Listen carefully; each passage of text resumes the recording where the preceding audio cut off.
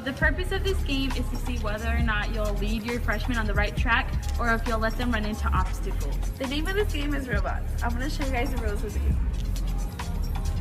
One tap on the head means go. One tap on the back means stop.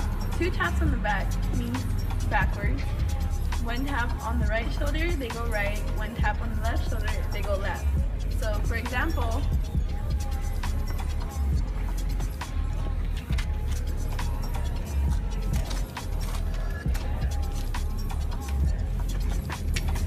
okay.